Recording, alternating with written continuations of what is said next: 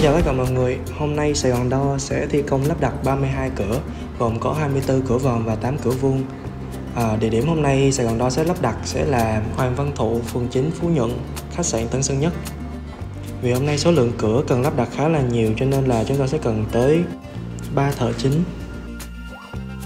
Rồi, bây giờ để bắt đầu vào quy trình lắp đặt cửa thì đầu tiên chúng ta sẽ kiểm tra cửa, ô tường và tập kết vị trí thi công.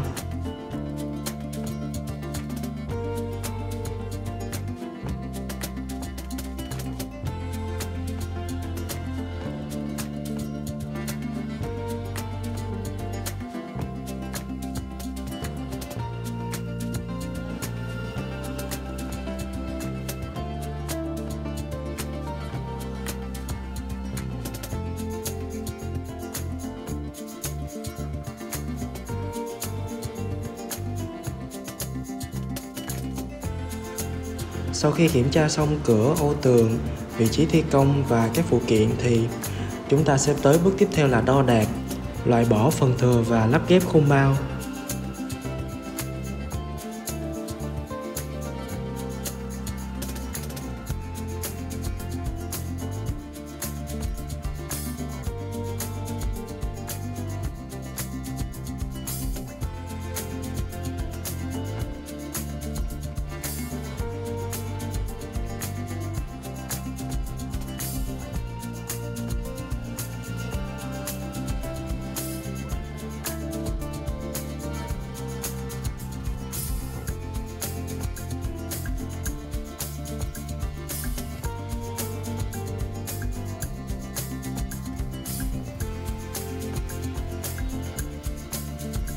Sau khi đo đạc tỉ mỉ và lắp ghép khung bao xong, chúng ta sẽ tới bước lấy dấu và cố định khung bao vào ô tường.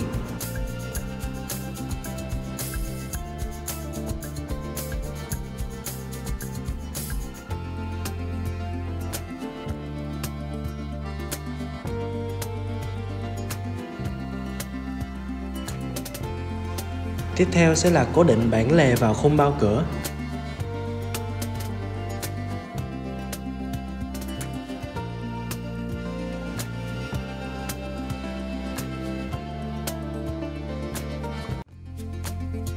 Tiếp theo là cố định cánh cửa và bản lề.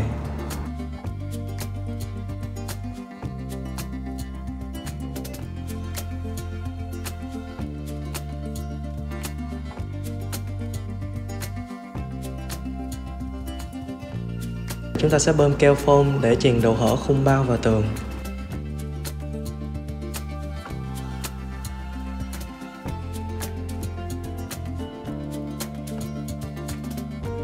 Đợi keo khô trong vòng 30 phút thì chúng ta sẽ tới bước cố định nẹp che hoàn thiện.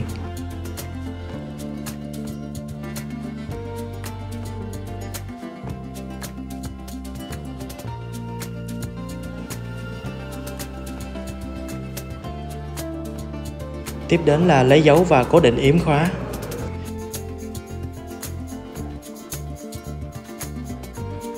Và cuối cùng là dọn dẹp khu vực thi công và bàn giao cửa lại cho khách hàng.